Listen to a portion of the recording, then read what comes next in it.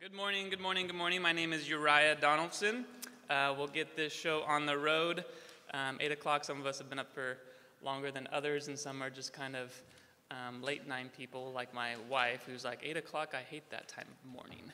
Um, anyways, so this is a joint uh, presentation between uh, myself, representing resource compliance, and some fantastic regulators from Kern County Environmental Health. We have Mark right here first, and then Chad, and then Dan Starkey, who actually leads the CalARP program, I believe. That's what you do, right? Yeah, okay. Hmm, we've, I've actually had the privilege of working with these guys for some time, um, so it's a, a, privilege to do this joint presentation together. Um, Want to draw your attention to a couple quick things. Uh, first off, we do, there is a, a, link at the top of this presentation. So if you have a, a smartphone or an internet enabled device, you can open up a browser, uh, Safari, Google Chrome, something like that, and just type that URL in, and you can type in your questions. Um, and then near the end time, allowing, uh, we will, um, I'll monitor those questions, and then we will run through them as quickly as we can at the end of the presentation, because we have a lot of content to get through today, um, and and don't want to get sidetracked interacting with various questions throughout the presentation. So you can just type in your questions. If you don't have a smartphone or an internet-enabled device, then find an internet-enabled device buddy and have them type your question in. Um, with that said, just a, a, few introductions. Again, so the four of us, we will be um, doing four different sections in this presentation. Um, so the, the CUPA form or the CalARP CUPA form, I'm not sure how what it's actually called, but they set forth actual guidelines or um, learning objectives for this presentation. So it's something that I believe they do every every conference.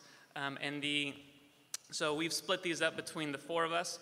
Um, so just I'm not going to read through these, but they are um, objectives that are set out by um, this class in particular. So I don't know if you guys have to get like certain for your RH, REHS or certain certifications. I don't know if this class is one thing that works towards that, something like that. I don't know. I'm not a regulator, so but these objectives have been set out, so we're going to do our best to meet these learning objectives. So Mark gets the ones regarding um, hazard assessment, offsite consequence analysis, and uh, completeness reviews.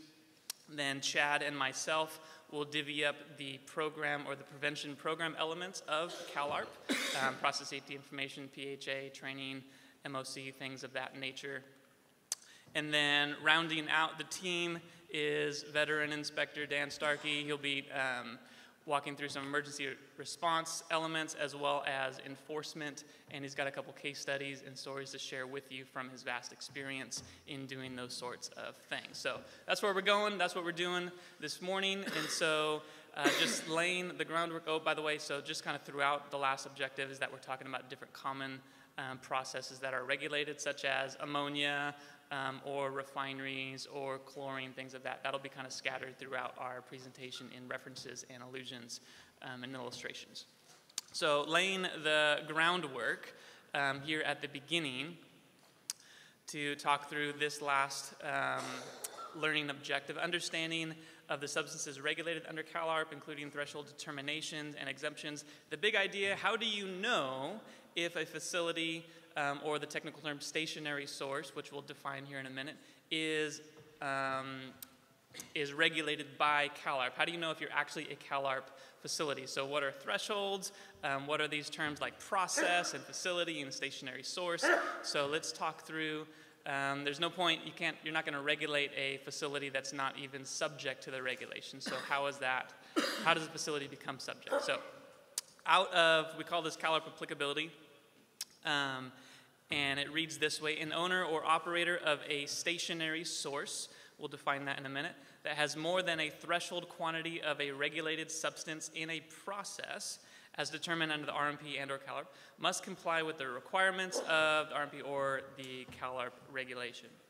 Um, in our case, we're talking specifically CalARP. So defining some of these things, if you, um, CalARP does have a fantastic guidance document um, that walks through some of these things. So if you're a, a newer regulator to this, um, to this field, if you will, of regulation, then the guidance document is definitely something that you want to have available to yourself, that you've read through and have consulted.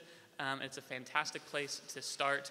And so a stationary source is defined um, simply as a facility with more than a threshold quantity of a regulated substance. So um, big idea, there is a, a chart, I'm sure that you can't fully read that or see that, so this is a screenshot out of the, the guidance document.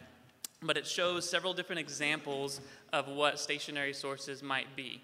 Namely, if you have um, like one facility that has like the, the last one down here, if you've got facility that has maybe a road between it, and if they're different facilities, or if they're owned by the same company, um, how do you know if it's just one program that you develop, or if you have to if, if you have to develop multiple programs. So there's varying different scenarios that can take place. We're not going to go through all of them, but I namely just want to point you towards the CalARP guidance document, and you can study this chart for yourself. So when you're doing inspections, or if you're an end user and you're wondering, do I need to submit one program? Do I need to submit two programs? How does this apply to me? The CalARP guidance document can answer those questions for you.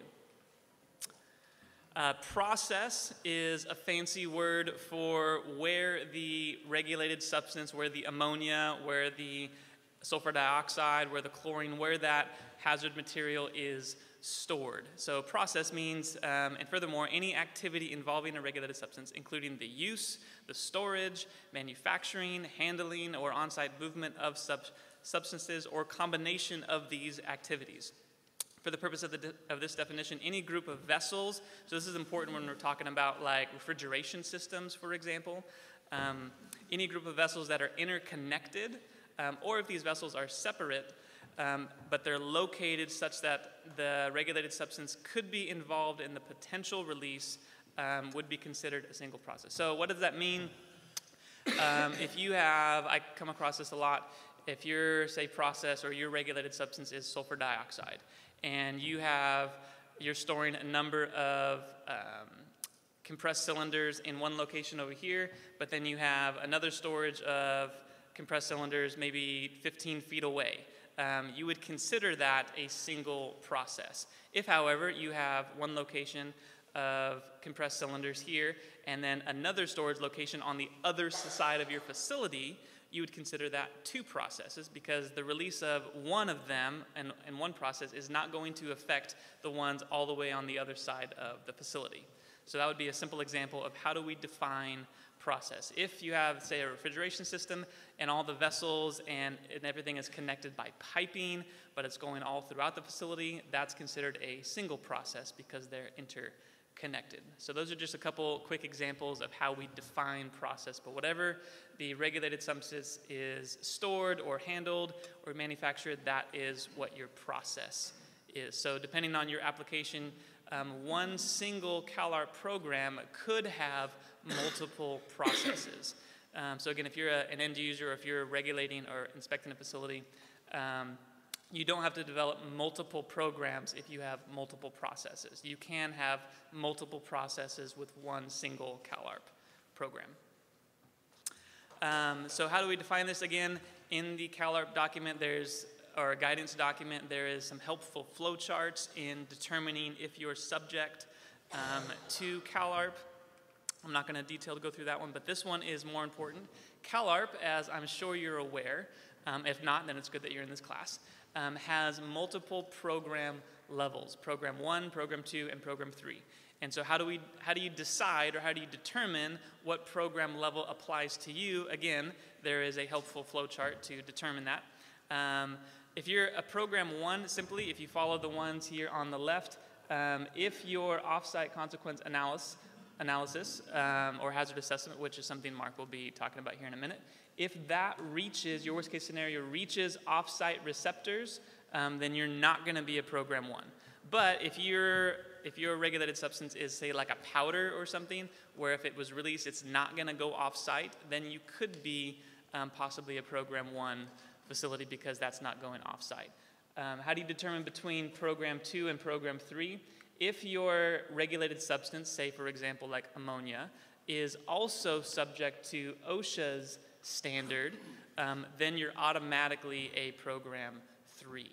Um, that's usually the key determining factor whether or not you're a program two or program three is if you're subject to PSM. However, um, as a CUPA, a facility that is maybe actually a program two, say it's an ammonia facility that's not subject to OSHA PSM, Um, but as a CUPA, if you determine that they are a higher risk for a variety of reasons, um, you can require them to be a program or implement a program 3 CalARP program. Um, so that is something that is within your jurisdiction. Um, you've got to make a good case for that. You can't just say off a whim, oh, I want you to be a program three, just because you want it so. There needs to be some good reasoning and logic behind that decision making process. Um, and then finally, so we talk about thresholds. Um, so what does that mean? In the CalARP law in Table 1, um, there's, there's actually a couple different tables. There's one for the, the federal RMP regulation, and then there's also the CalARP table. Um, table 1 here is for the, the federal um, the federal thresholds, because you'll notice up here, like for ammonia, the threshold is 10,000 pounds. For um, an aqueous ammonia solution, we have 20,000 pounds. CalARP has an, their own table as well in the document, and many of these thresholds are lower. Um, so for example, ammonia is 500 pounds, um, as well as sulfur dioxide, whereas in the table one for the federal RMP, sulfur dioxide is 5,000 pounds, I believe. Um, I think that's right. And then OSHA is 100 or 1,500.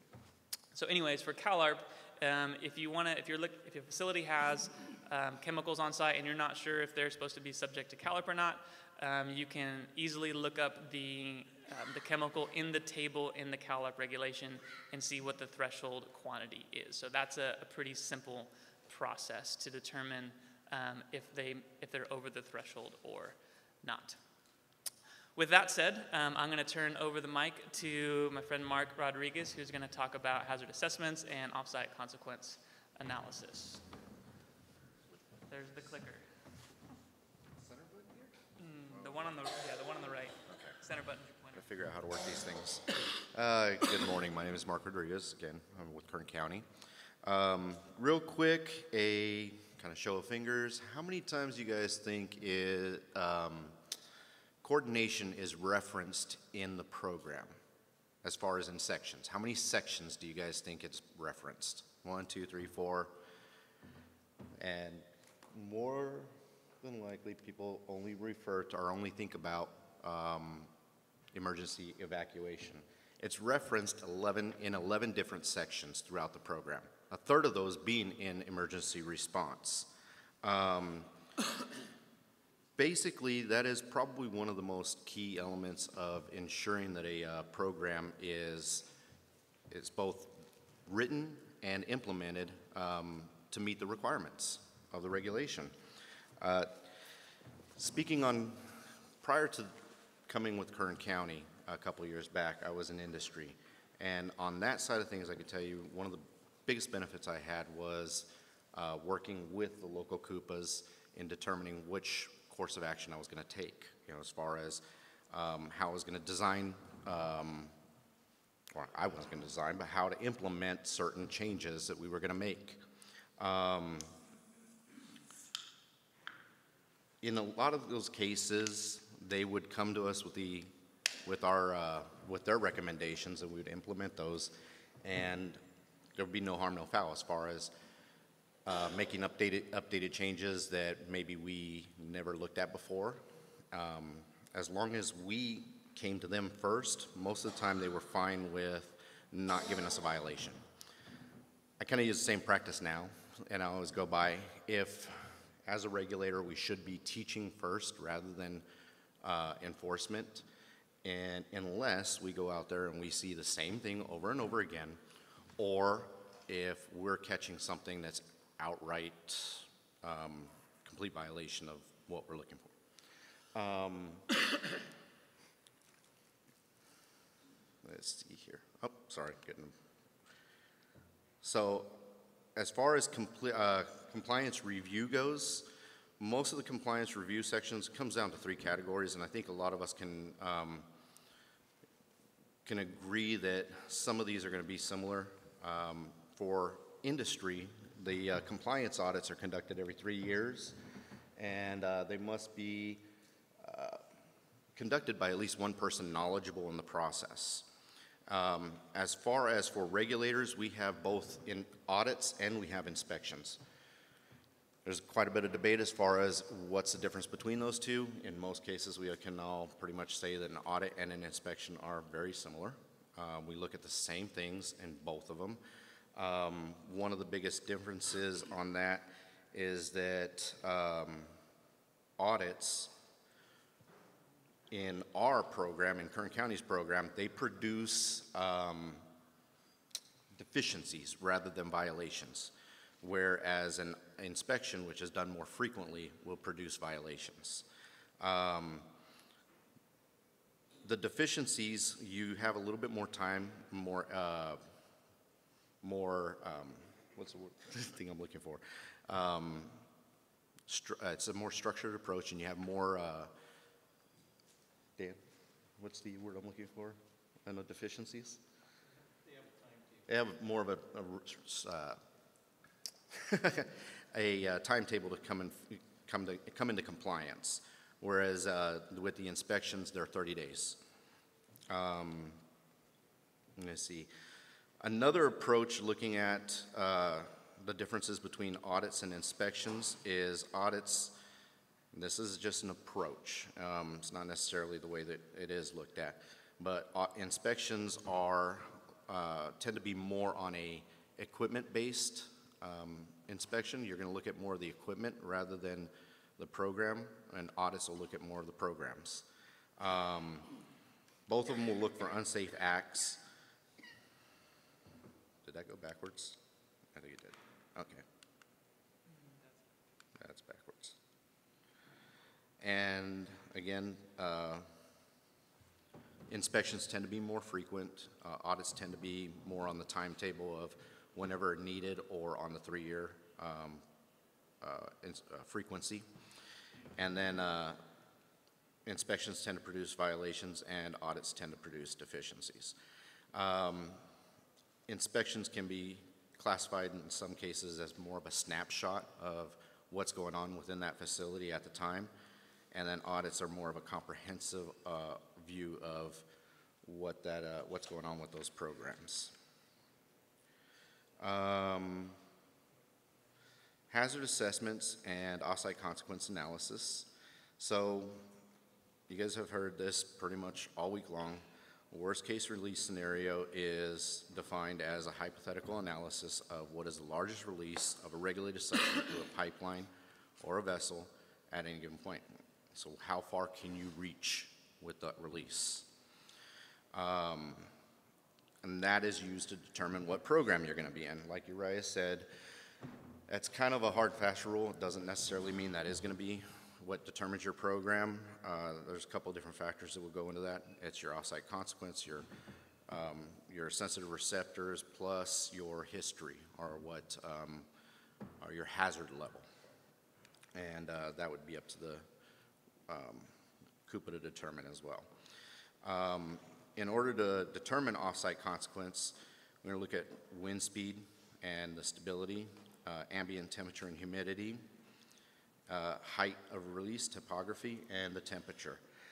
Um, There is, actually, I think I'm going to get into, and then we're also going to look at the endpoints. Um, There is some modeling software that you can use to determine this information, and uh, we'll, I'll look at that in just a second. But a couple, this is one of the modeling softwares, called MARPLOT. Um, One of the things I like about this one, what's really good, is you can actually put in where, let me see if I can get this thing. You can actually put in a center point, put in your radius, and it'll shade it out nice for you. Um, This will also go and attach to Aloha, which will put m- more of a plume model, which will uh, elongate it and put it wherever the wind direction would be. Um, But also, it has a nice little section here with these people here that'll automatically give you the population based off the latest census. So that is also a um, requirement within your uh, hazard analysis is, or hazard assessment, which is to um, include your population. So rather than using the EPA's rule or trying to look up the uh, census yourself and determine that population, this will do it for you. Let's see here. Uh, Alternative release scenarios. So the alternative release scenario is gonna be your most likely release, the most likely release that will reach an offsite consequence.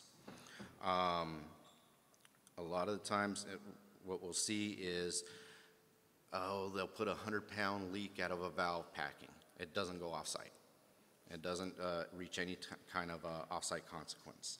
What we're looking for is what's your most common release that'll be an off-site consequence um, or reach a public receptor. The only way to get out of that is if no such scenario exists. If you can't reach it by any means necessary, then go by whatever you can, uh, whatever your most common release would be and how far that would be. Um, Defining off-site impacts the to the population, what we're going to look at is going to be residents, schools, hospitals, et cetera, parks, um, any environmental impacts, so rivers, lakes, um, national parks, uh, any kind of uh, government um, uh, area or gathering. Um, Let's see here. And as far as the review for these, these are done every five years uh, with a uh, RMP, well, they're due every five years. Don't get confused with uh, OSHA PSM. OSHA PSM is also every five years, but a lot of people make the mistake of if they go and submit through the online um, OSHA PSM website, I mean, not, not OSHA PSM, um, EPA's website, excuse me, um, that they think that they're uh, going to be, su- that's sufficient enough uh, to submit to the CUPA. And That is not the case because the EPA doesn't send us those, that information. So you gotta report to the uh, local CUPA as well in order to meet that requirement. Um, If you make an update to the RMP, uh, that also needs to be uh, submitted to the CUPA within six months.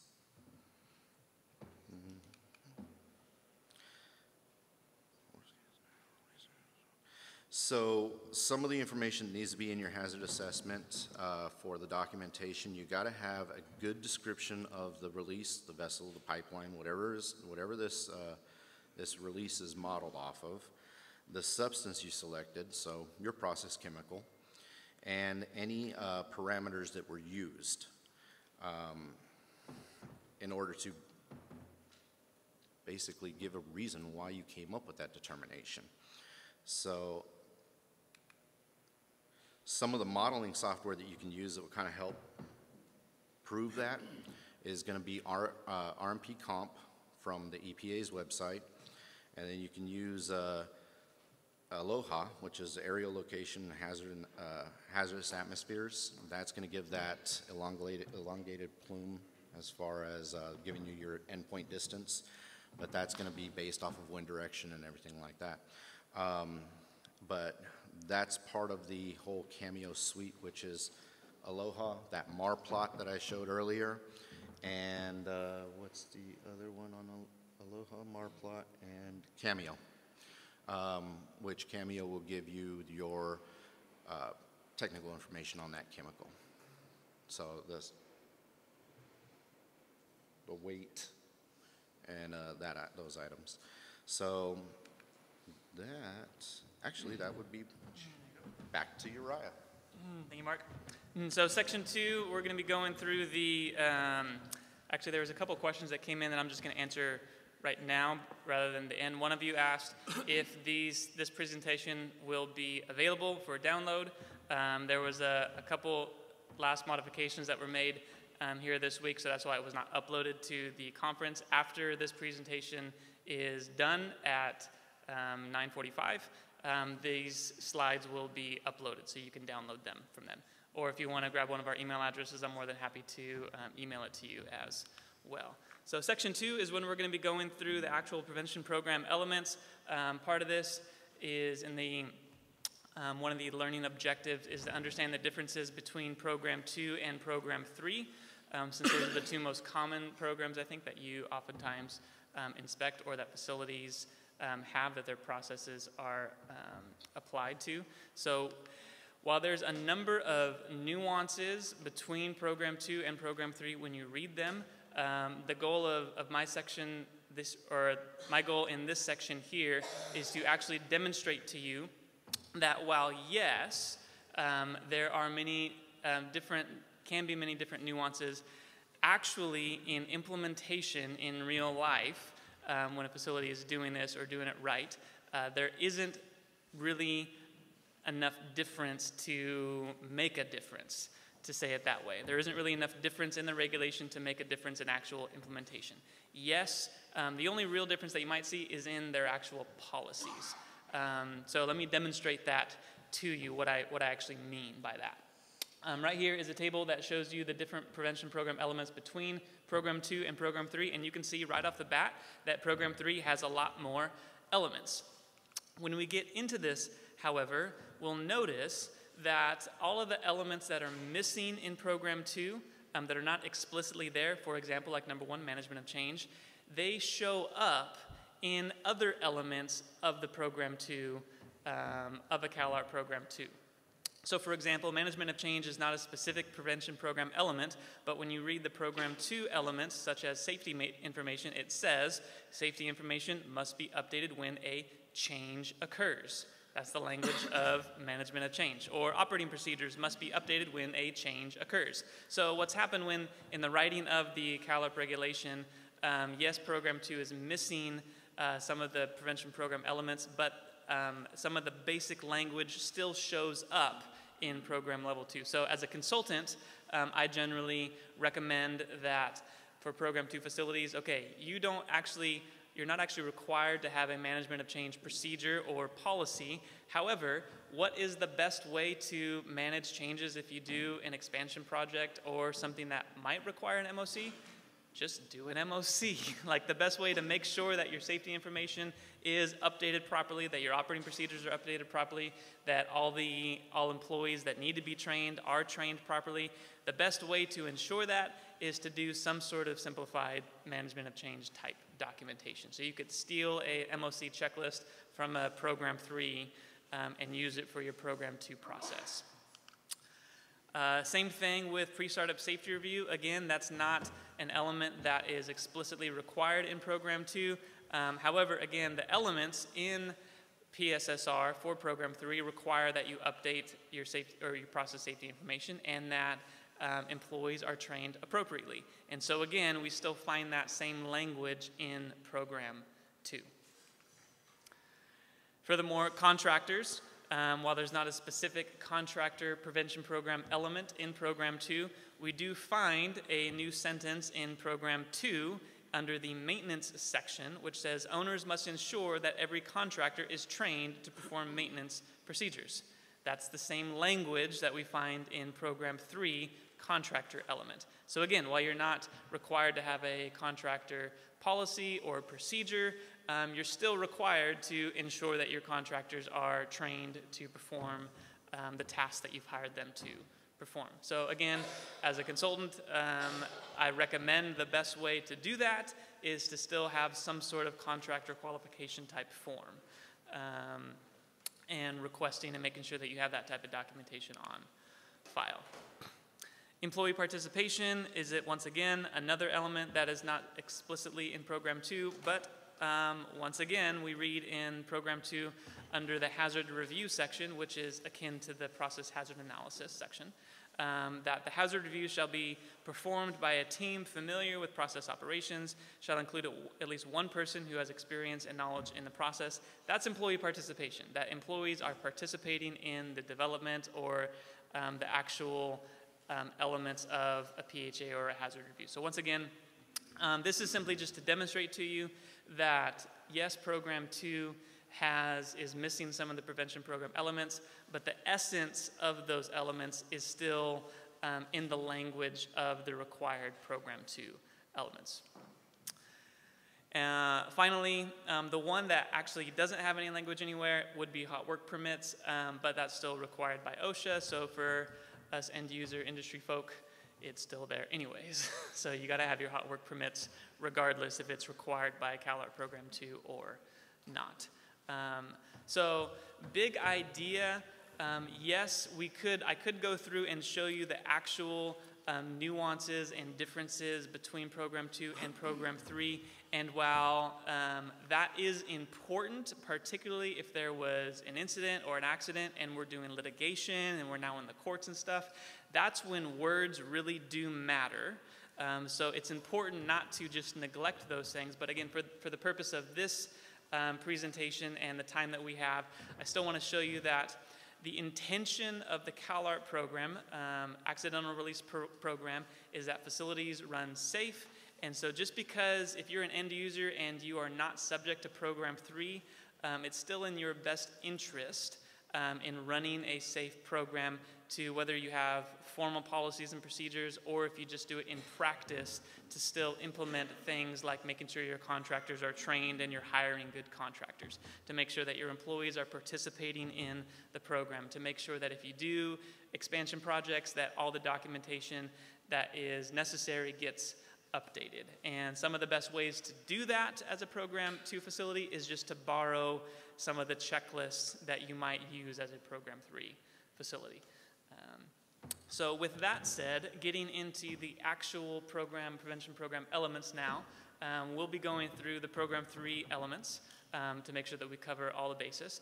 And I'm gonna do the first couple here and then I'll hand it over to uh, my friend Chad to take over the, the remaining elements. So process safety information, this is um, what we might call the bedrock or the foundation of a good CalARP program. This is going to be your technical information um, about the process.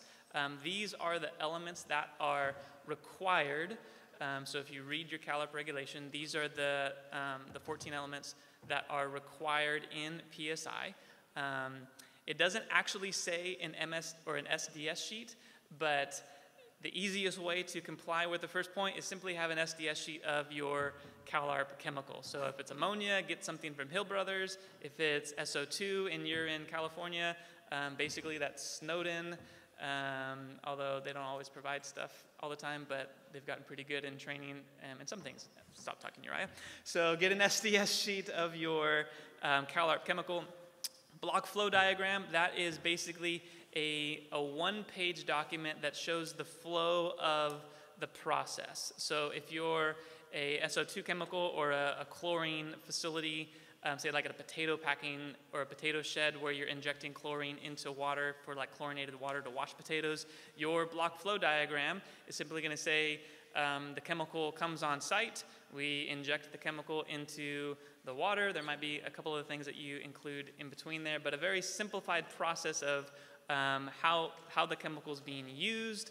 Um, is it a closed loop system like ammonia where the, the chemical is in the process and it never leaves? Or is it something like chlorine or SO2 that you're actually using and then um, empty containers are taken away? So uh, it doesn't need to be more complicated. It really shouldn't be more than one page for a block flow. Process chemistry, um, I don't need to go through all of these in detail.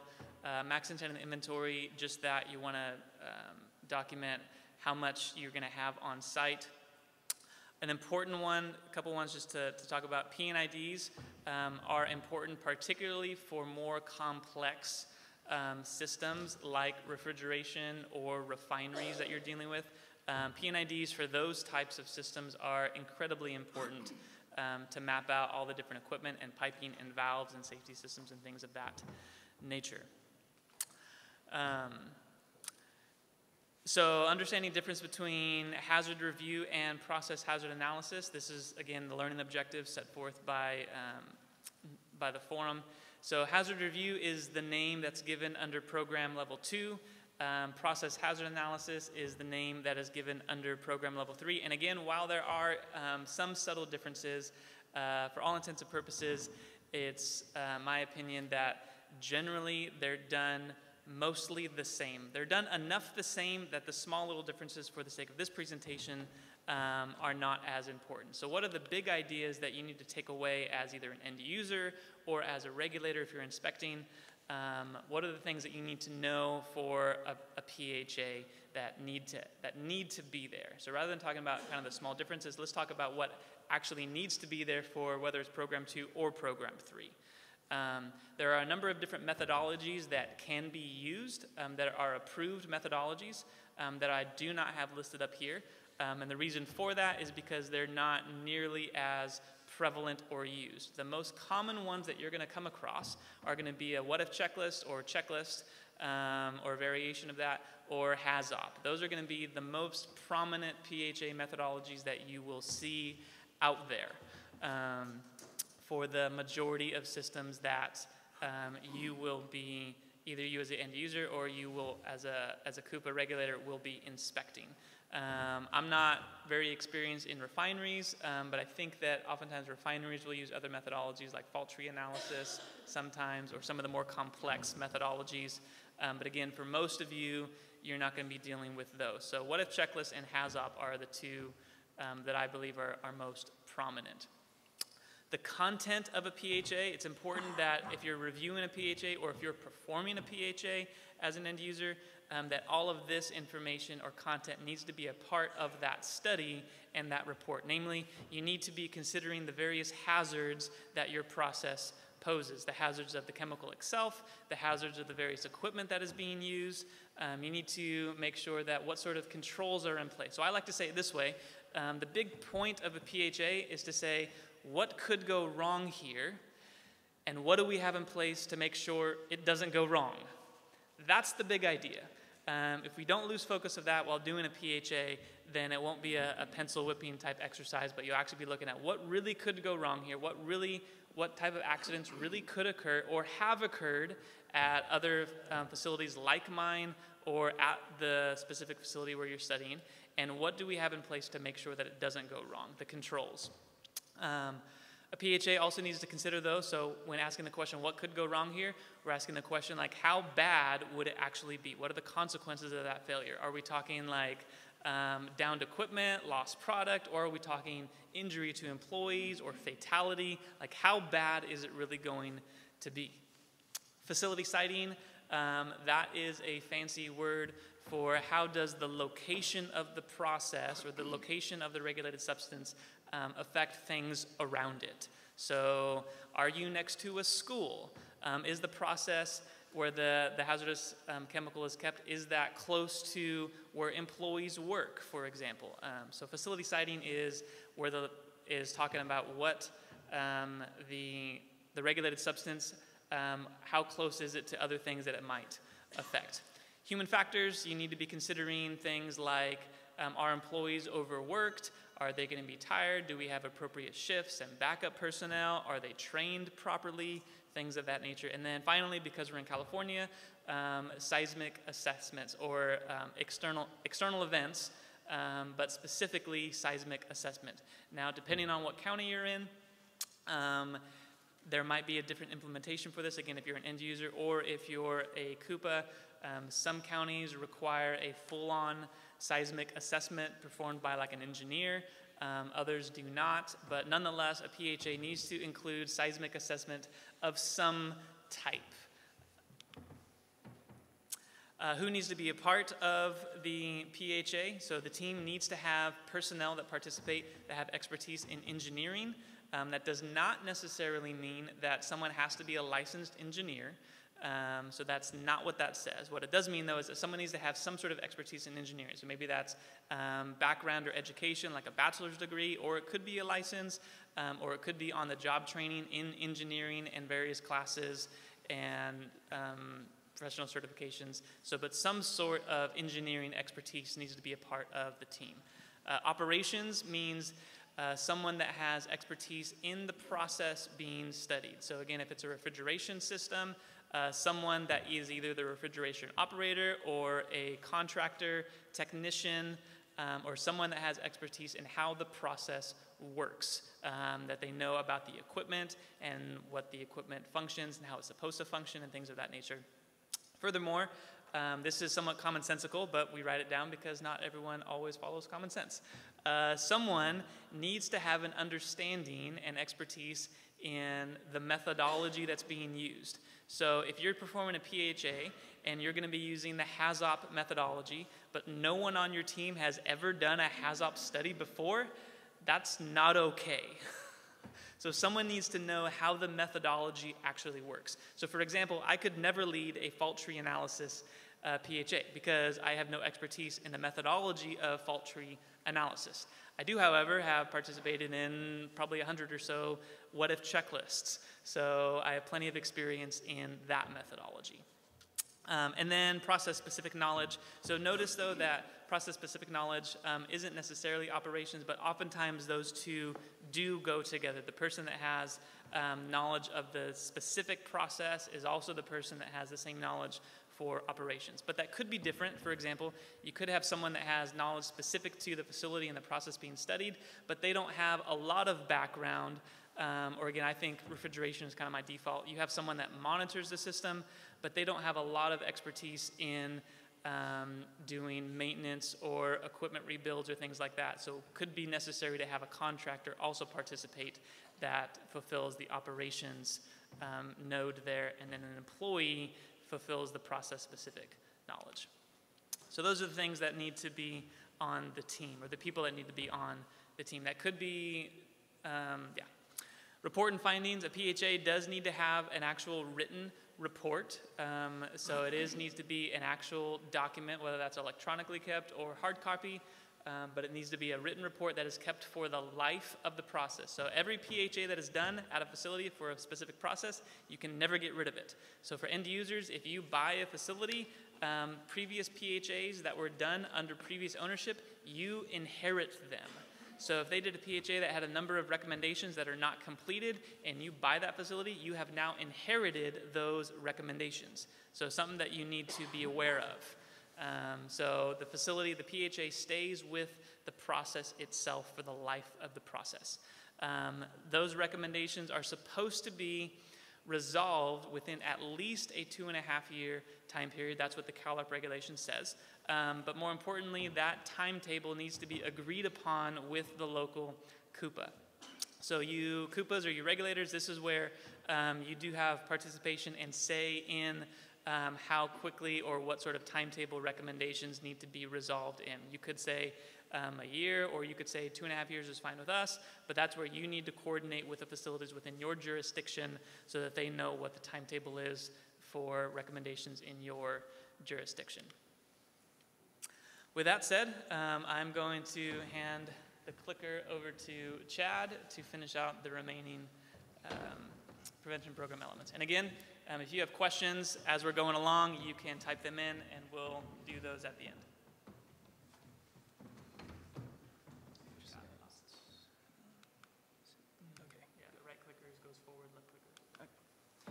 Again, my name is Chad San Juan, and I'll be continuing the discussion on understanding the CalARP program elements, specifically on Program 3, just because it is more stringent, but then I will highlight the differences and similarities uh, throughout the elements. So, uh, breaking it down on operating procedures, uh, essentially, operating procedures is the, I guess you could say, like the instructions for operating your process. It is also considered a, I guess, the foundation for your training as well. The main categories that need to be within or discussed within your operating procedures are operating phases, operating limits, safety and health considerations, and safety systems and their functions. Categories 1 and 2 are directly discussed within Program 2 and in Program 3. Program, categories 3 and 4 are further expanded in Program 3, but can be um, still required in Program 2 um, if it is essential for safely, um, for you know, conducting safe activities for the process. There are various phases that need to be discussed within your operating uh, procedures. Your overall operating procedures, the complexity of your operating procedures will be based on the complexity of your process. I've seen operating procedures that was suitable for, you know, they only had like a couple steps, procedures, and it was suitable for the process. In other operating procedures, I've seen interlinking operating procedures. Um, let's say, for example, emergency shutdown. You may have a set of operating procedures that may require to look at other um, uh, equipment shutdowns. For example, in an emergency shutdown procedure, you may have it reference a shutdown procedure for your compressors, a shutdown procedure for your condensers. Um, so it really it is really dependent on how complicated your process is.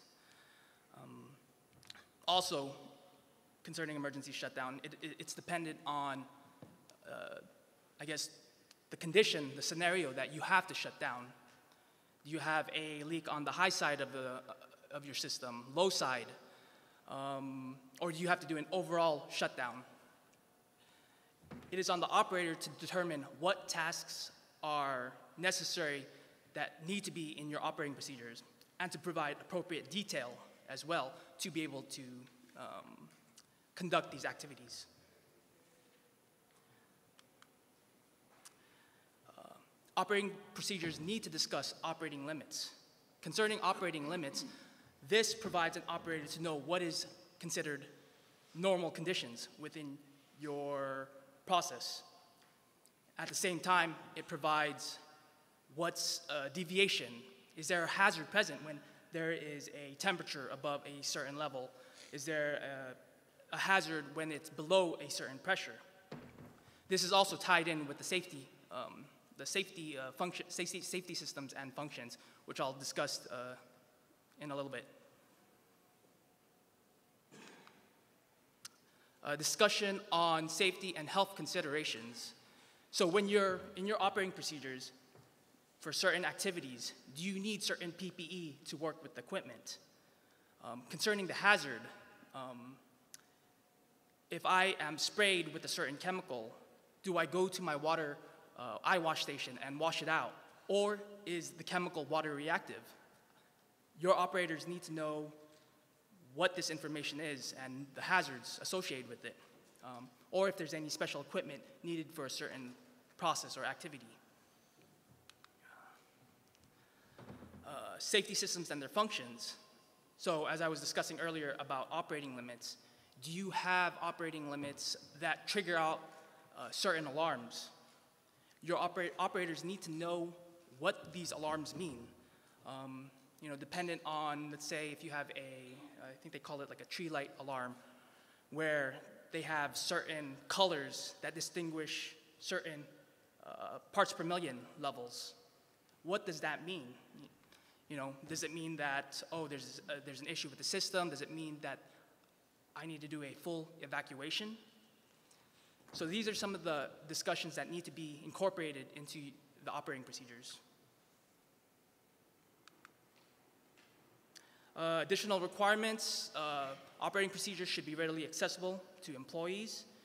Some of the uh, ways that I've seen this done is I've seen companies utilize a network system, uh, a computer-based network system where they can you know, go in, log in, and access the SOPs. Uh, the question I pose to my operators is, if that network fails, do you have a hard copy to be able to reference. And at the same time, I do pose another question that do you update both copies? You know, if you update something on your network, you update the hard copies as well. So that's something to ask your operator, to ask your operators. Um, additional requirements is SOPs uh, need to be reviewed annually and cer certified current and correct. Uh, between program two and program three, uh, program three requires this annual certification, while in program two, it does need to be um, uh, reviewed and uh, updated when necessary. Um, that's the major difference between program two and program three. Um, and then lastly is developing uh, uh, safe work practices. these safe work practices are, let's say, confined space, lockout, tagout. So within your operating procedures, these discussions need to be incorporated um, when a procedure or activity uh, requires these practices to be conducted. Um, I reference uh, the Center of Chemical Process Safety on, uh, on various things. It's, um, they provide various uh, uh, references or material on developing process safety management and risk management plan programs and um, you know, to further understand the program itself. Um, but some of the recommendations that I thought were really good on how to inspect and audit a program uh, is, um, you know, review operating procedures, review what the operating procedures say, and talk with the uh, talk to the operator and see if that's uh, aligns. Um, check works, safe work practices um, and see if those permits are being pulled for those specific procedures. Um, so these are just some examples that you can do when auditing or inspecting a program. Uh, this is also from CCPS. Uh, one of the things that is complicated about CalARP PSM program is that when there is a change in one element, it can be interrelated to the change, changes in uh, many other elements. That's what makes the CalARP and PSM program, I guess, a beast of a program. Um, there is specifically a element just for these changes, which is known as management of change, which I'll discuss later. But this just gives you an idea of some of the primary uh, relationships that each element can have it on, on each other. So I want to relate a story on uh, SOPs during one of my inspections. Uh, I requested documentation for uh, emergency shutdown procedures, or SOPs in general. And one of the things that I questioned about their SOPs was based on their complexity of their process for their shutdown. Um, the steps that they provided was we push this button to shut down the system. And the question I posed to them is, if this button fails, what do you do in that case? And um, in further reviewing documentation, um, in their tra training records, I saw that they did have a detailed plan on uh, emergency shutdown by utilizing their other equipment, SOPs, and um, that is one thing that I, I saw that um, in relation with training and SOPs, um, that there wasn't any uh, congruency between the two. So I did recommend, hey, your SOPs need to be updated to um, to uh, to deal with issues when your emergency button fails, where you have a manual uh, set of procedures to be able to reference. So that's one example with uh, SOPs and relating with training. Uh, next element is training. So training has to be done every initial and every three years. Uh, training needs to consist of overview of the process, what is the process chemical um, you know, do, and how does it go throughout the, throughout it, the system. Um, we just discussed operating procedures, um, specific safety and health hazards, emergency operations, what do we do when we need to evacuate, is there certain safety systems that are in place, uh, and safe work practices. Again, lockout, tagout, confined space. So these are the uh, uh, essentials for training at the bare minimum. Uh, when inspecting and auditing a training program, I would review what's on their training program what is the frequency in which they train? Again, it does say that at the bare minimum, three years. But if the program can say, hey, we do more often than that, then that's something that you have to take a look into and make, making sure that that is being followed. Um, all the employees that are part of the process being trained, that's something that you need to look into. Uh, uh, in, um, interviewing, talking to the operators and see if they do have the competency. Um, with a, uh, in one of my inspections concerning training, uh, me and Mark went to a facility to follow up on a tampering of a, uh, uh an alarm. And as we were discussing with the operator, we did some other observations uh, within the machinery room, machinery room um, we can tell like there's uh, something leaking from one of the compressors, and that was definitely you know one of an issue, especially with alarm sensor being uh, tampered.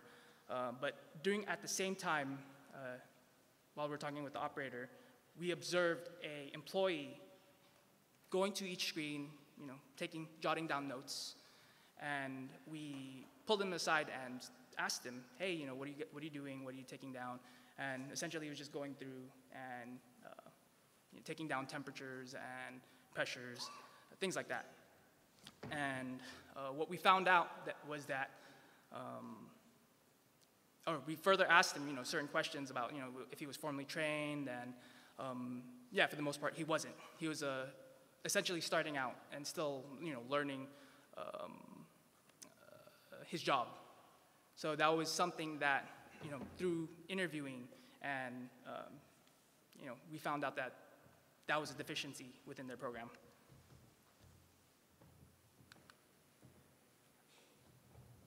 Uh, the next element is the mechanical integrity. Uh, mechanical integrity uh, between program, difference between program two and three. Um, program two is known as maintenance. Program three is known as uh, mechanical integrity. Essentially, it is the program that ensures that the system is working appropriately and is maintained, essentially. Uh, so within a mechanical integrity program, there's a list of equipment that should be listed on what needs to be maintained. And from that, the maintenance should be dependent on uh, RAGAGEP, Recognized and Generally Good Engineering Practices, or uh, based on uh, manufacturer recommendations. Based on those, uh, based on the RAGAGEP developed list, um, there are various subcomponents, various subcomponents uh, that need to be prepared. Everything from written procedures on how to maintain, maintain the process, um, essential training to conduct maintenance, such as, again, safe work practices, inspection and testing, what are the frequencies for inspecting and for testing, um, quality assurance. Um, this is notable in program three, um, making sure that if there's any like spare parts, um, ensuring that those spare parts are compatible with the system. And then, of course, correcting equipment deficiencies um, and um, you know, documenting that they've been uh, corrected. Uh, these are just some examples of equipment to consider. Um, pumps, compressors, pressure vessels, storage tanks, um, you know, emergency shutdowns. Uh, RAGAGEP standards to consider. Um, again, there's a, uh, depending on your process, you will refer to uh, utilize potentially one of these standards or multiple standards. You know, API, American Petroleum Institute, IIAR, International Institute of Ammonia Refrigeration. Uh, types of inspections and testings. These are just some examples. Um, I should have put, uh, you know, like for, for inspecting piping, um, non-destructive testing, um, things like that as well. Uh, inspecting, auditing mechanical integrity, uh, review mechanical integrity program, see what's on their program, what equipment, what's, what is on their equipment list, um, see what frequencies they should be um, performing those inspections and tests, um, and then compare it to also like you know on-site on-site equipment. Um, uh, so primary interfacing elements. Um, with the mechanical integri integrity program, uh, with one of my inspections, um, I was doing a cold storage ammonia uh, facility, and one of the main things that I look for as soon as I get into a machinery room is I look at the anchorage and support of piping and, and uh, electrical. That's the first thing I just, you know, just one of my uh, things that catch my eye. So I'm looking at the piping, I'm looking at the electrical, and I see that it's consistently being anchored by a certain, um, um, well, they're all consistent with each other, except for this one spot where I see pipe, piping, or uh, it was actually an electrical conduit um, being held by this messy looking wire um, that really bugged, you know, bugged my eye. And um, essentially, I, I, called them out on that, that this, is, this isn't uh, appropriate for this system. I mean, you have uh, proper anchorage everywhere else, but here you have just this messy little wire dangling. And in, case, in cases of an earthquake, you know, that wire is going to fail. I mean, it's not, it's not if, it's when. So that was something that they had uh, deficiency on.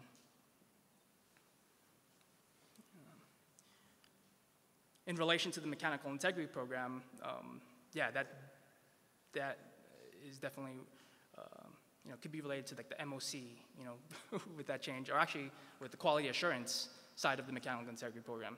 Is, was that even built for that system? So, um, yeah, that didn't cut it. Uh, next is management of change, uh, MOCs. Essentially, the management of change is a, I guess you can say, like a thought process of determining if a change has uh, affected any of the other elements uh, within your CalARP program, and does it introduce any other uh, hazards um, to the process.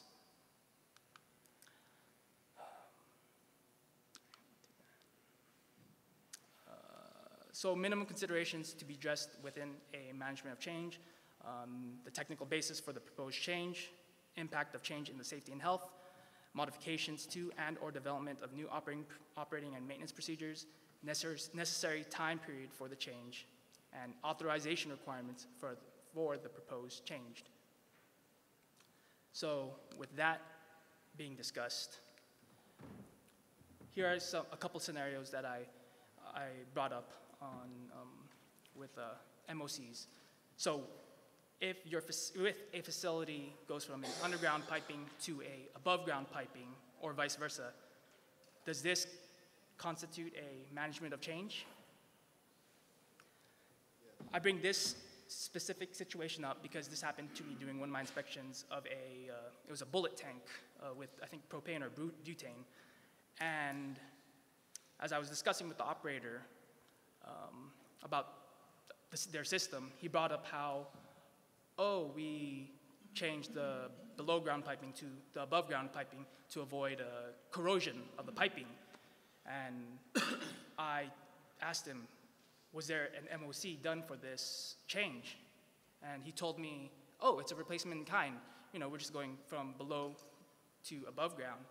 And I discussed with him that, well, even if in that case, um, you know, you're still just changing the piping, you're changing the environment that that piping is in.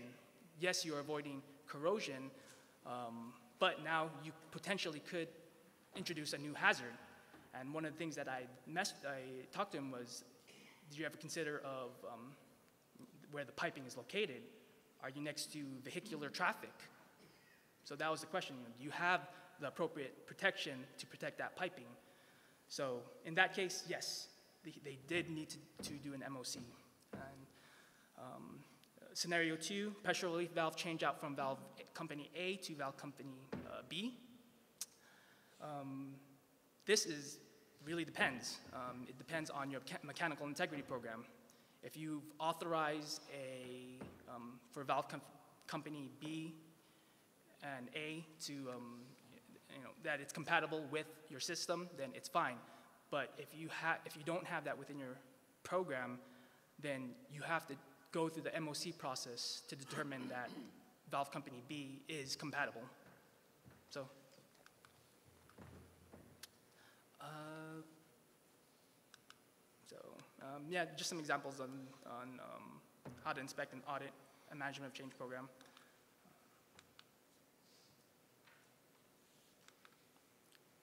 Uh, pre-startup safety review.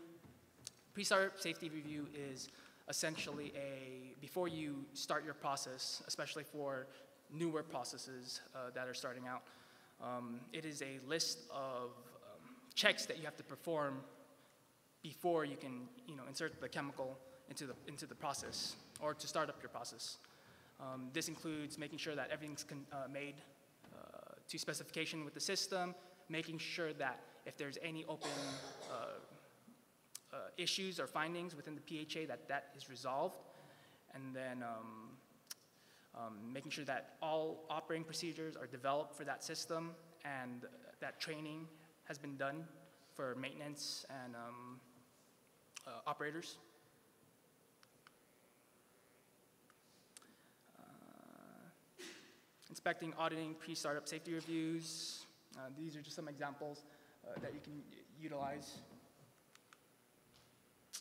Uh, primary inter- interfacing elements, you know, with the PSSR, again, it's related to training, making sure training is done for your operators before a system starts, making sure that,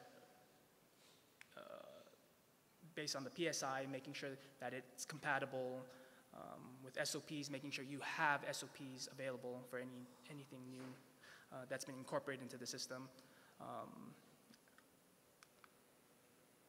compliance audits, um, what Mark was saying earlier about uh, inspecting and compliance audits. Um, essentially, a compliance audit is uh, reviewing your program elements, making sure that you're verifying that um, that the process meets those requirements um, based on your program. And that's done every three years. Uh, this chart, I created this chart um, for both inspecting and for compliance audits because it's what I would like to say my thought process when I do an inspection. Um, usually, I would like to go through the program, um, you know, look through the, a facility's program, and then check, you know, compared to regulation. Um, from there, from regulation to RAGAGEP, does it meet those minimum requirements? Um, from that, the program to on-site conditions. Um, with on-site conditions, you know, uh, with their employees, um, you know, do they, uh, with employees, documentation, uh, and equipment. So this is just essentially like my thought process of how I would conduct my inspections. It's essentially, um, you know, uh, very similar to compliance audits. So um, uh, just highlighted requirements, compliance audits need to be performed every three years. Um, they have to be knowledgeable with the process, and then based on the findings, they have to be uh, uh, a timetable of corrective actions uh, need to be uh, agreed upon with the CUPA, or at the bare minimum, uh, 1.5 years. And then two of the most recent compliance audits need to be um, retained. Uh, uh, some examples on uh, reviewing compliance audits. Um, one of the things with the compliance audits, um, you know, checking for dates when their last compliance audit was done. And one of my inspections, you know, I found that they were late, so I, I made them perform their compliance audit. And even during that compliance audit, I found multiple deficiencies in their emergency response notifications. Um, one specifically just talking about uh, ammonia. Uh, they were referencing the federal um, just reporting the 100 pounds for a release. Um, and I had them also incorporate a, a, notification to the CUPA for any significant or unplanned um, accidental release as well to be incorporated into their um, documentation. Uh, incident investigations. Uh, incident investigations is pretty much, you know, when there's an incident occurred, um, it's providing the, the root causes of what happened to that incident and what needs to be done to prevent that incident from reoccurring.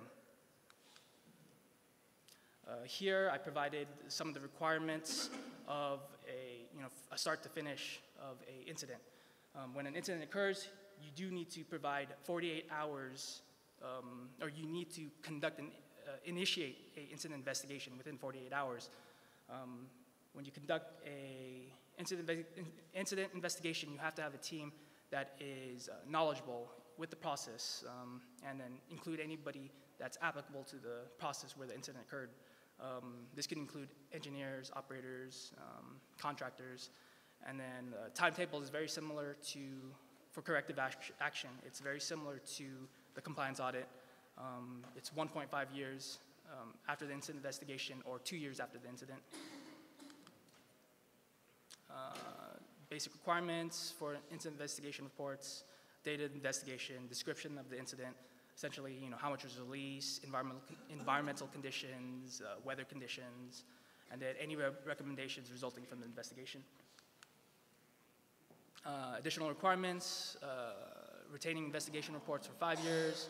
Reports, reports must be reviewed with all affected employees. Um, documentation of resolutions and corrective actions with completion dates. Uh, some approaches to inspecting and auditing incident investigations. Um, you know, making sure one of, I think the most uh, common one that I utilize is just making sure that the corrective actions have been completed. And then uh, primary in- interfacing elements with incident, invest- incident investigation. And that's it. Uh, so next is Dan Starkey.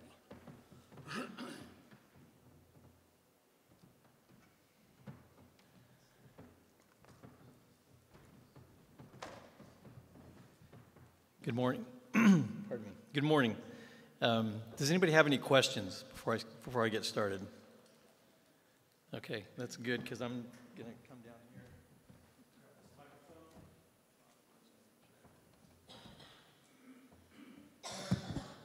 Can you hear me? There we go.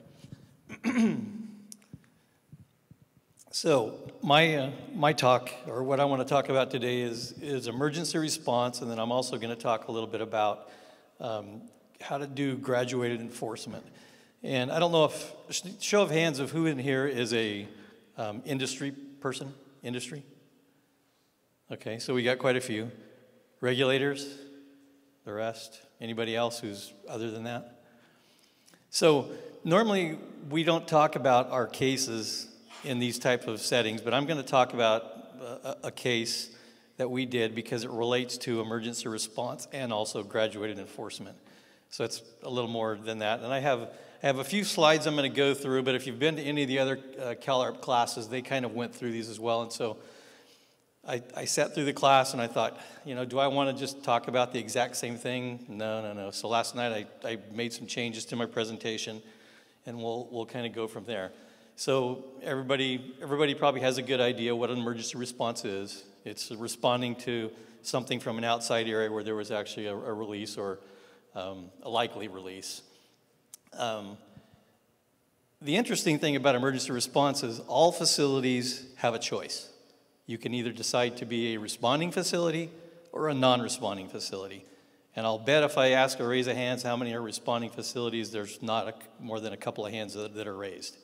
And um, the reason for that is there's an expense, there's training, there's a lot of things that go along with that. So a lot of facilities just basically rely on, um, on uh, the local fire department and also the local um, CUPA or whoever else they would have, maybe a contractor that would respond to their facility. So if you're a non-responding facility, you have to either coordinate with, with the local county hazardous materials um, area plan or business plan or something, but there has to be coordination. Um, and, uh, and for flammables, it's basically the, the, the same thing. Um, and the, the coordination is that, um, in, oh, in, in part of the coordination, you have to have written procedures that are in place to notify responders and do those, do those things that you would normally do in an emergency response, um, even though you're not responding. And um, for responding facilities, you know, and, and, in the regulations, when it says shall, it, what it really means is you must do it, according to us. It means you must. So again, you have that you have that choice, and really the only the only facilities that no longer have a choice are refineries. Program four facilities are required to have an emergency response program. They don't have a choice. Um, this right here is a is an incident that happened in, in our county. Um, and basically, the reason why I put it in there because it was a response where everybody was there. Fire was there, the facility response people were there, and, and we were there as environmental health. So just showing that there was um, coordination and, and actual, um, you know, we, we all work together in the incident command system. Um, and this goes back to what I said. For example, in our county, we have about 175 facilities that we deal with. And out of those 175 facilities, I, I, I think I counted eight, and maybe there's six now, but uh, about 4% of our facilities actually respond. And we have refineries and, and chemical facilities, gas plants, we have tons of stuff. And um, there's, a, there's just not a lot of facilities out there that are willing to do that. Um, and if you're a responding facility, there's a lot more things you have to do. There, you, have to, you have to have the procedures for inter interfacing with the public. You have to have documentation of your, or for, of your chemicals and how those things are actually um, uh, I mean, a lot of times what I see is the information is sent with the people that are contaminated to the hospital, so the, uh, the emergency peer personnel will know how to treat those, those types of things, exposures. And, um, and then the other thing is you have to have the procedures and measures for actually responding to the, to the incident. And uh, again, those are things that are, that are costly. You have to update. Um, you have to you have to have your your equipment. You have to um, yeah, yeah you, there's the testing and of, of the for example if if you have uh, combustible gas and you have the CGI, you have the monitoring, you have the suits, you have all those things that go into emergency response. Then on top of that, you have to do the training, and and part of that training is also that you have to do drills because if you don't ever practice what you're going to do, you'll never do it right. And um, and then you also have to update your plan and make sure that uh, when you've made changes to your facility, your employees understand and know that. So this is the part where I'm going to kind of try to combine the two. So this is new, so don't hold me to all the accuracy. I hope there's even I hope it's spelled correctly, to tell you the truth. Um, so what I'm going to talk about is a facility in our county that has acrolein, and they actually manufacture acrolein. Acrolein has an IDLH of two parts per million. So if you get a little bit out of the, out of the containment, you have a big problem.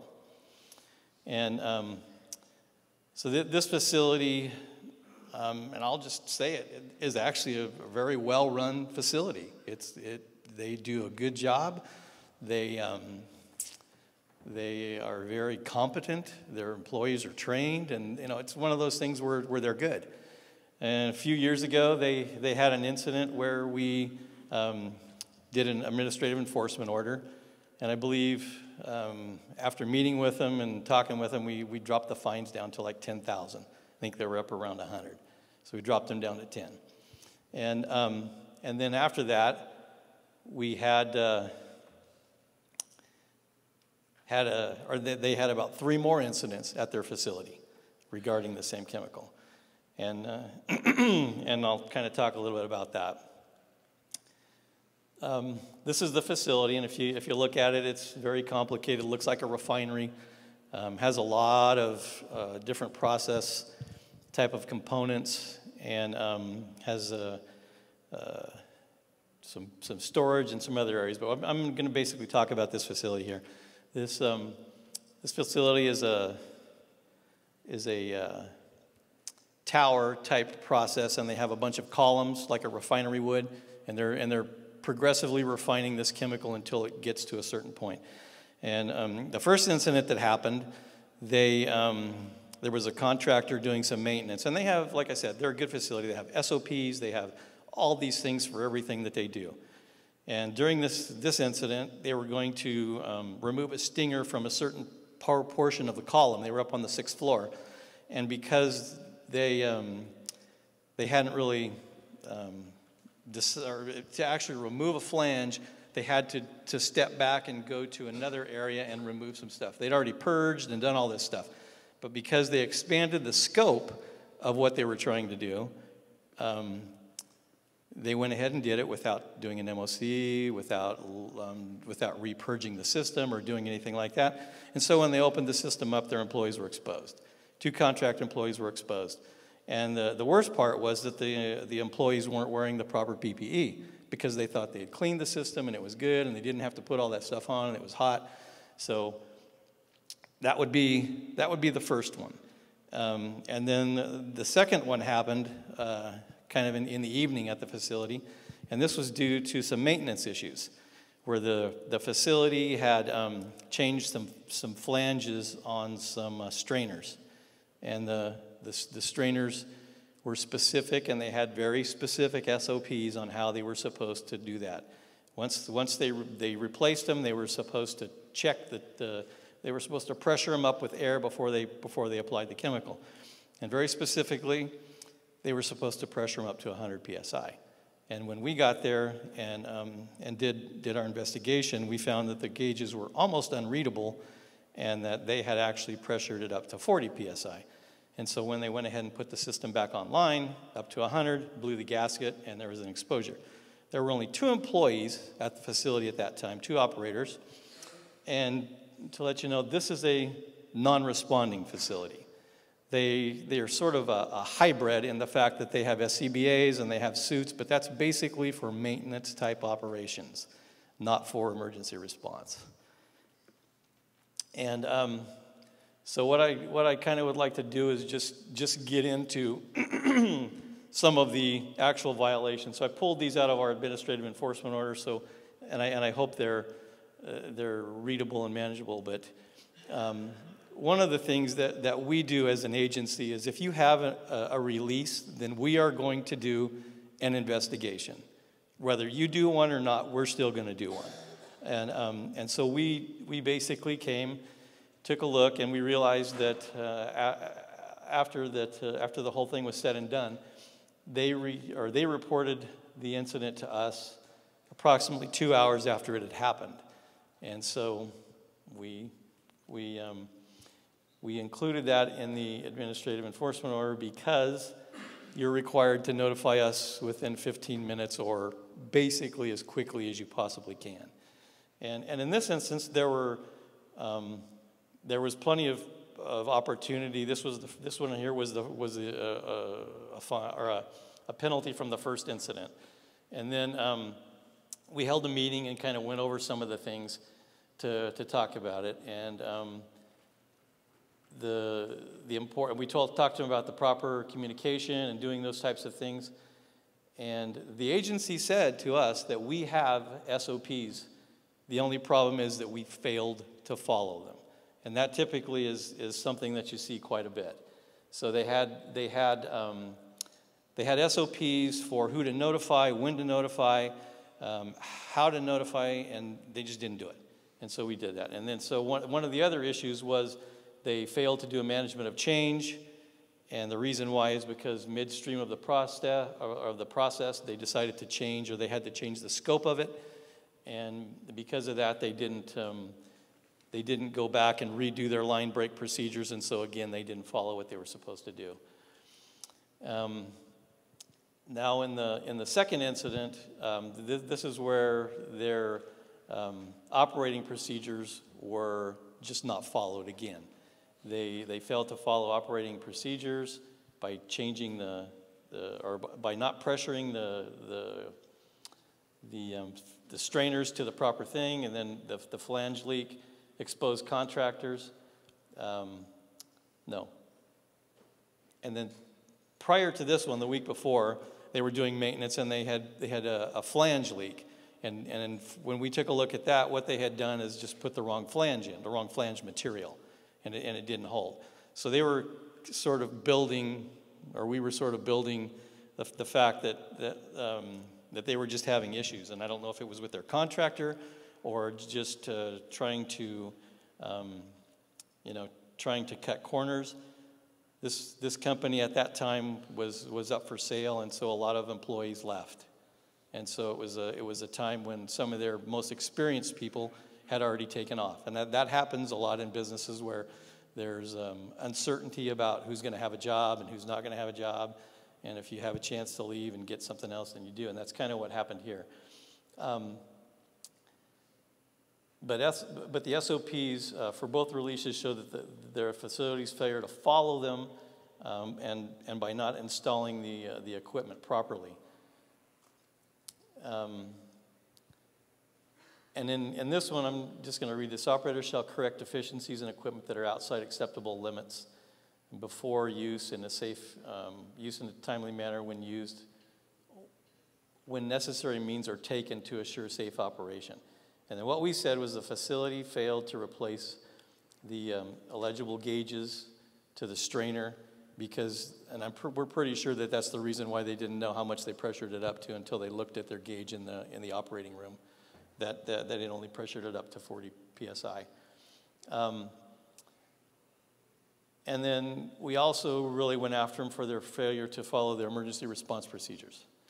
And the, the, the, reason is because there were only two operators on site. They had an issue. One operator went out and um, became exposed.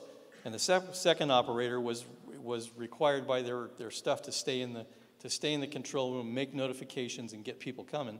But what he did is he panicked and he ran out and tried to help the other guy. Luckily, he put an SCBA on, or he would have been exposed too. And um, and then the, the, the procedures for interfacing with the public and local emergency response agencies, the facility failed to notify um, or failed to follow their, and this is where they are, their, emergent, their emergency action plan. The operators didn't do what they were supposed to do. Um,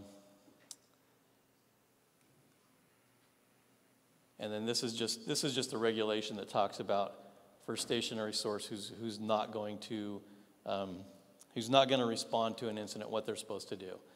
And if you think about it, they, they're, like I said, they're kind of a hybrid, so they kind of responded, but they thought they were responding to a maintenance issue.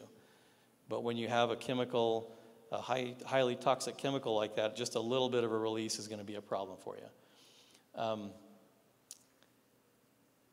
and in their emergency response plan, one of the things that happens, or one of the things they're supposed to do and they're trained on, is in the facility, if they have a release, they have emergency showers all over the place. And when you hit the emergency shower, it does all kinds of things. It sets off an alarm, people start evacuating, and, and there's a whole series of things that cascade when that happens.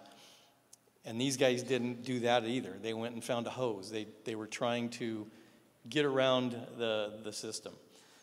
And for, for, for this facility, um, for us, we, we ended up finding them around $100,000 $100, for these processes.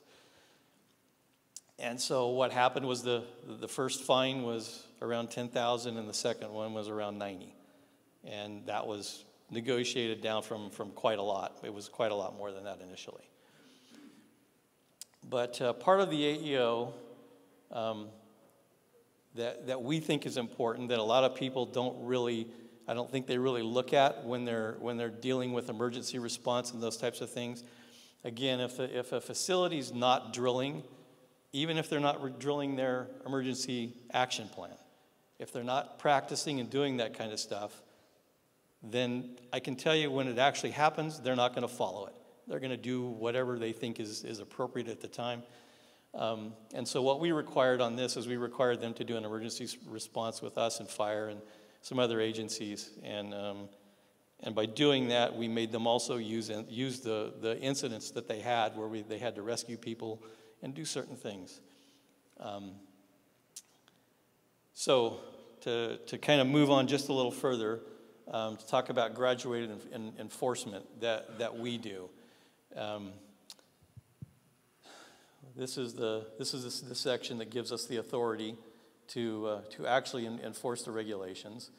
And there's, as of January 1st of this year, the fines used to be um, not less than 2,000, now it's not less than 5,000. And then the other change is that any stationary source used to say knowingly, and they removed that knowingly part for, um, so it would be after reasonable notice of violation, then the, then the fines uh, will go up to $25,000 per day. Um, the reason that I think you should do as a, as a county agency, why you should do enforcement, and I, you know, one of the things that, that, um, that I think of their perception is if you do enforcement, um, people are going to step back and they're not going to really want to have anything to do with you. They're going to try to hide stuff. And we find that to be just the opposite. That by doing enforcement, but also having a lot of communication, um, things actually improve. So enforcement is, is a deterrent and it helps achieve compliance. And then the other, the other thing that, that, that you need to do is every, every local agency should have an emergency um, uh, or an enforcement policy along with your inspection policy. And if you follow that and you do what you're supposed to do, then the graduated enforcement would be, it would be um, reasonable because you would have given them chances and helped them along the way and try, uh, tried to allow them to come into compliance without, without having to do um, anything more than that. Um, now, to talk about graduated enforcements, where to start? For example, violations not corrected in the time frame are a problem. Minor violations um, not corrected in 30 days turn into class two violations. And uh, other violations, you can specify the, the, the times. Um, for example, my, the other, my other coworkers had, had talked about uh, the PHA. And, and if you look, it says timetable agreed upon with the, with the CUPA or UPA, or two and a half years. Well, for us, it's always been a year. We've always followed that policy until this came along. And because you're supposed to do communication, we, we still follow the year unless, they, unless there's some reason why um, the, the, that we wouldn't do that. For example, if there was some major um, components or changes to the facility that cost a lot of money that needed, you know, needed some time, we'd be perfectly fine with that. Um, I got five minutes? Ooh, okay. Um, so uh, compliance audit, the same thing. Um, that says the owner operator shall enter into an agreement with the UPA on a timetable for resolutions of these findings. Um, and they give you 1.5 years, but uh, we typically don't, you know, we, we do it within a year or maybe even sooner. Um, again, this kind of goes over the, the, violation, the class violations. Um, and then here are some examples, and this, these, these are already been gone over, and it's in literature and it's available to you. Um, reported gallons instead of pounds, that's, that would be considered a minor violation.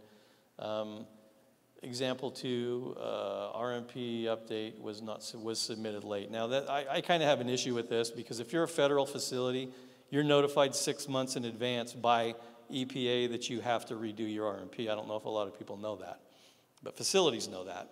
And um, so you've already so you've already been notified. And for us, we notify you a couple of a couple of months in advance through email. And so we have documentation that we did it. So if you don't submit, then you're you're going to get a two thousand dollar fine minimum. And if you if you've done it before, then um, then you'll get you'll get a little bit more. Um, and then uh, class one violations. Um, no incident investigation conducted for a significant release. I would think that's a class one. And again, there's a bunch that are in the documentation, and um, don't really need to go, go through all those at this time. Um, and so I threw this up to kind of show how we as a CUPA decide to go through and, and, and look at, at, uh, at violations. And for most of the other programs, you've got 30 days to do something. But for, um, for CalARP, it's different. And so in our inspection reports, when we're doing things and we note violations, some violations are 30 to 60 days, some are 60 to 90, some are six months, some are a year, and then some are even maybe longer than the other ones, depending on when the turnaround's going to be or what you have to do, the cost, and those types of things. Uh, also, also depends on um, the, the risk to, to employees and to the outside population. If, if there were some things that needed to be done a little quicker, we would, we would push for that. Um, and th this, this is, these are just the kind of the continuations, and th those will be in the slides. So, and just to kind of talk about over the last three years, and like I said, we, we do enforce the, the submit, opera, um, submit violation. The last three years, we've collected that much money on, on people failing to submit their, their RMP. And then for prevention violations, we've collected about 230,000. So we do enforcement. But I think if you, if you were to talk to, to our facilities, we have good relationships with them. We do inspections every year, not every three years. So tend to know them very well. And um, I, think that's, I think that's all I have. So if there's any questions? Yeah.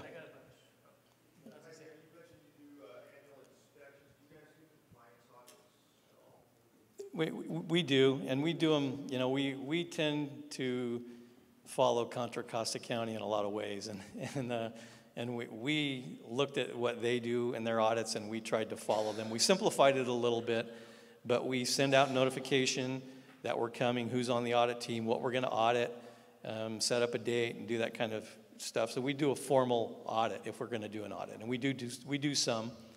Not, not a lot, but we do some. And typically we'll pick a facility that's either had problems or um, we, th we think might be having issues. We try to do it that way. Okay. Oh. Just go. So a number of you have, we've got a couple minutes left, and we'll, so we'll try and answer um, some of your questions that you've submitted. So appreciate Appreciate that.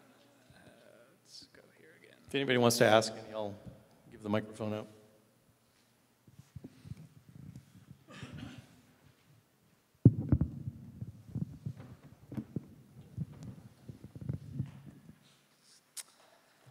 So yeah, we'll just kind of run through. I, I'll do a couple on the top, but if you want, actually, Dan, if you want to keep the microphone, we can pass it, and a couple of you guys can answer as well.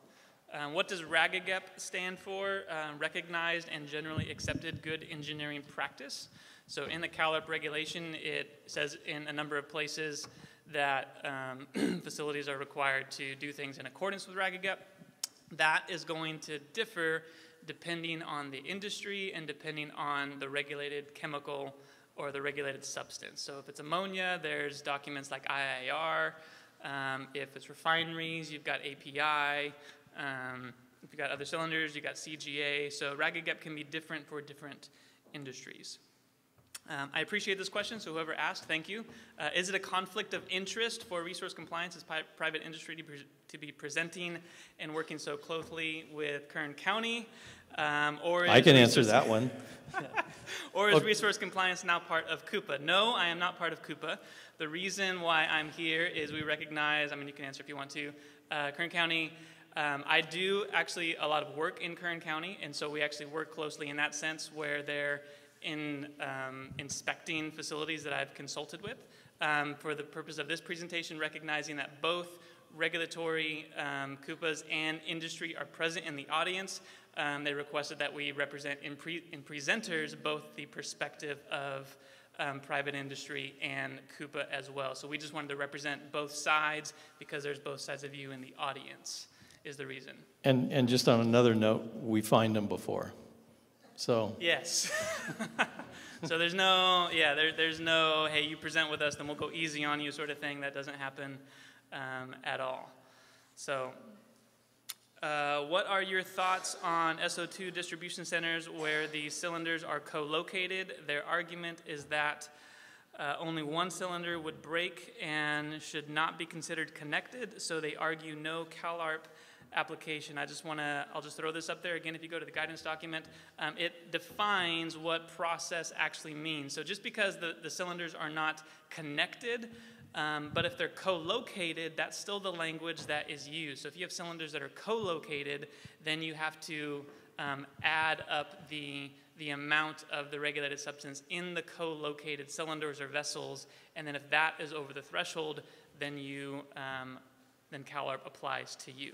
So just because they're not connected, if someone's making an argument, hey, I have two cylinders that are next, that are next to each other, but they're not connected, therefore um, it doesn't apply, that's a misinterpretation and a misunderstanding of process. In that instance, the best thing to be would, would, would be only keep one cylinder there and move the other one to a different storage location so you're under the there you go. threshold quantity. what? Right, right.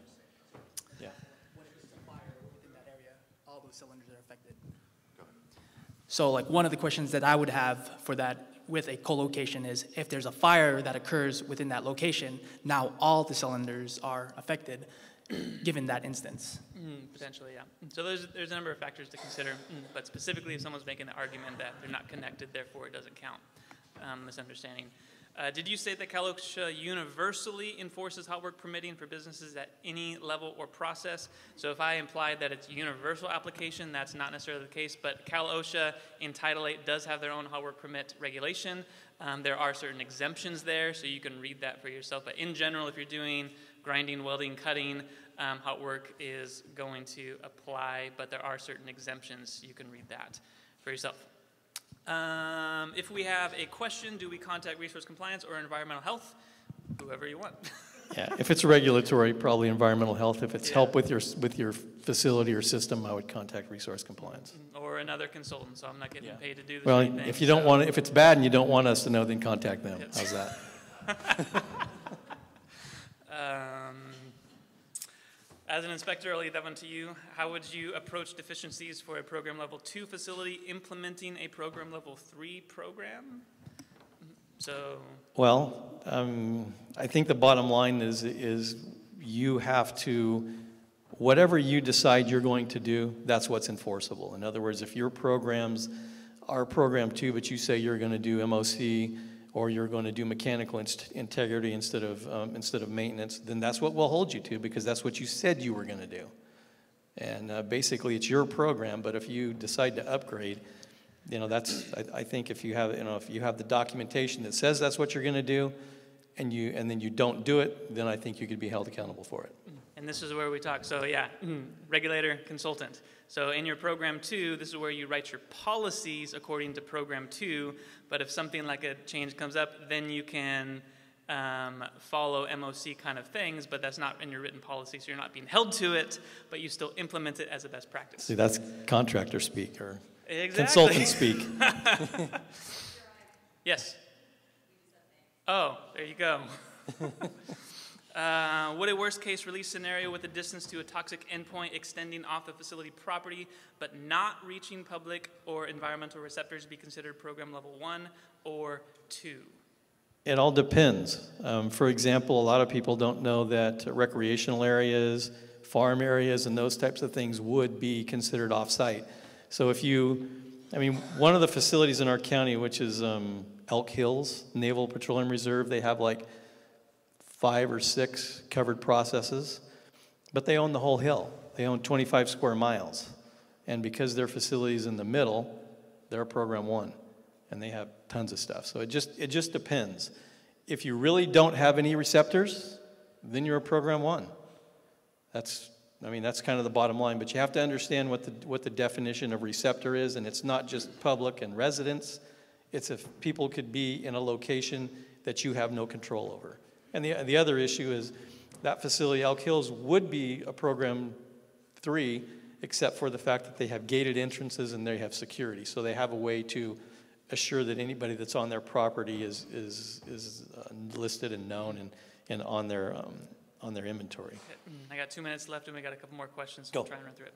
Um, interesting one. So, if we have two locations of ammonia at the same facility, both under 500 pounds but 25 feet away from each other, how do I prove that these locations are one or not one process and regulated by a CalARP program? Again, this talks with like co-location sort of stuff. I think arguments can be made. We'd have to look at your specific um, process and talk with your regulator.